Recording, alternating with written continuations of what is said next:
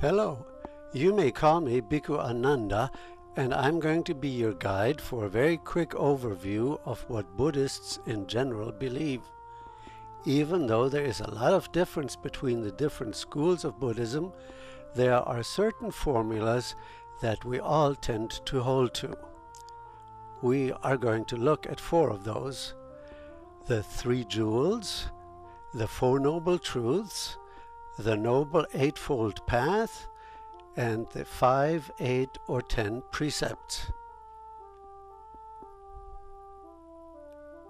The three jewels, or three refuges, are as close as Buddhism comes to having a central creed.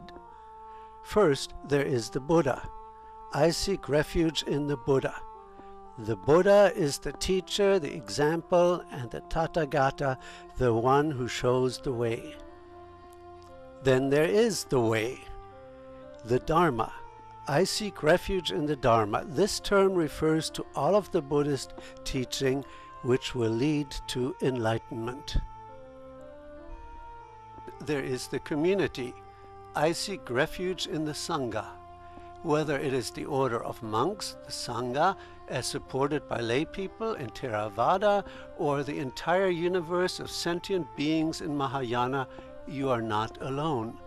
Regardless of where you are on your spiritual path, there is someone who will support you.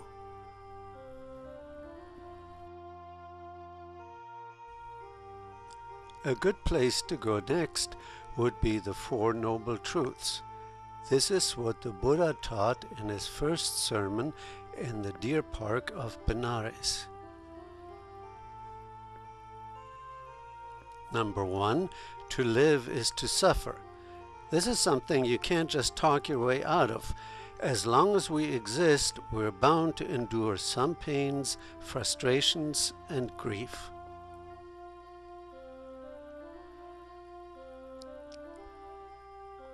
2. Suffering is caused by desire.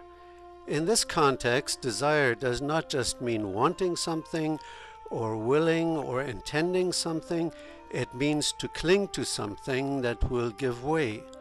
All things in the universe are impermanent, including ourselves, and as long as we try to hold on to something that is definitely going to disappear, we are bound to suffer. Are you staking your happiness on having good health, making a material fortune, always having your loved ones around, worse yet, never dying? I guarantee you that all those things will pass away sooner rather than later. 3. It follows from that reality that we need to let go. We have to stop clinging to impermanent things. So the key to eliminating suffering lies in eliminating desire in the sense of attaching yourself to anything in the world, whether it be something material or an experience. But four, how can one overcome one's attachments to the world? It's not easy, but the Buddha prescribed a way to follow. It is called the Noble Eightfold Path. Now you need to understand that the Eightfold Path was originally intended for the bhikkhus, monks like myself and nuns, people who would devote their entire lives to the pursuit of enlightenment. One must hold the right view, have the right intention, be careful of one's speech, of one's actions, pursue the right livelihood, make the right kind of effort, maintain right mindfulness, and do the right kind of concentration. Finally, everyone is bound to some ethical obligations, some of which apply to all Buddhists, some to monks and lay people on special occasions, and some that apply to monks only.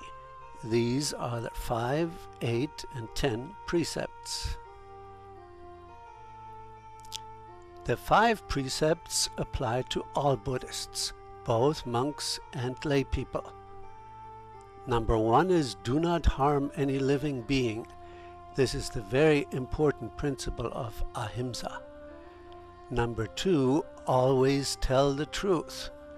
Do not deceive people, not even unintentionally if you can help it.